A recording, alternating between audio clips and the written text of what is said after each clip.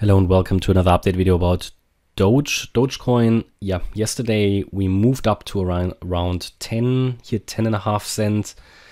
Um, but all of this was still part of this red wave count, one, two, three, four, with another expected low afterwards, yeah. At the moment, we need to be very honest. There are various possibilities um, in this chart across all crypto charts, really.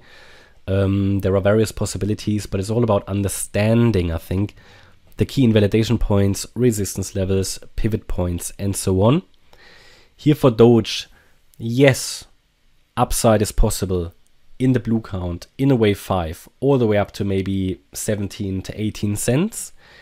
Is it very likely? I must say no, yeah, because the probability is spread quite, let's say, thin across different scenarios, yeah. Um, and to be honest, my primary scenario is still the red one here, um, which would result in another low. I mentioned that yesterday that unless we really cut through the wave one here, the low of the wave one at around 11 and a half cents, my view is actually that this wave four is still is still unfolding, uh, or at least that this is only a wave four, which would result in another sell-off. Now, we've seen here now quite a bit of a drop since yesterday. We just need to observe it further now. We're going to take a look at that in a minute. Um, but generally, if we draw the fibs for this wave 4, then yeah, I mean, I did say it yesterday, I think that here the, the, the 10.5 cent level is actually the level that the price shouldn't go above. Because if it does, then it's most likely not a wave 4 anymore. Now it never substantially broke it.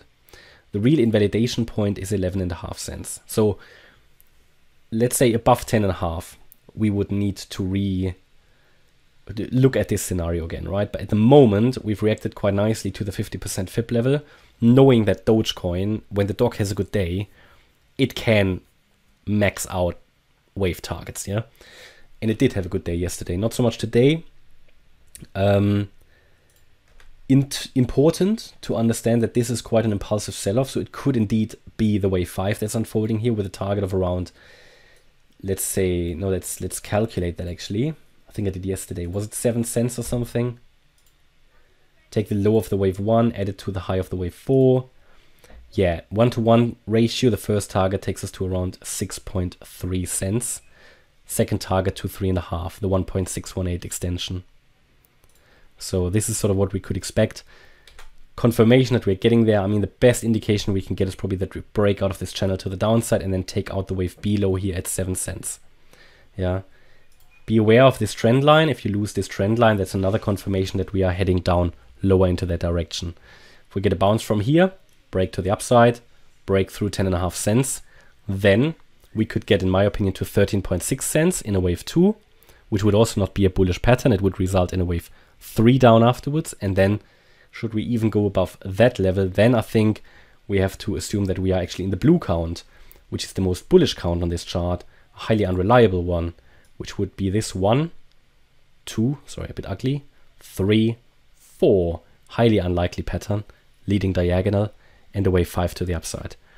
But primarily, I'm still looking at lower at the moment. Keep you updated. Alright, hopefully you liked the update about Doge. If you did, please hit the like button, leave a comment and subscribe. And if you really like the content, please check out the channel membership. Thanks a lot for watching. Bye bye.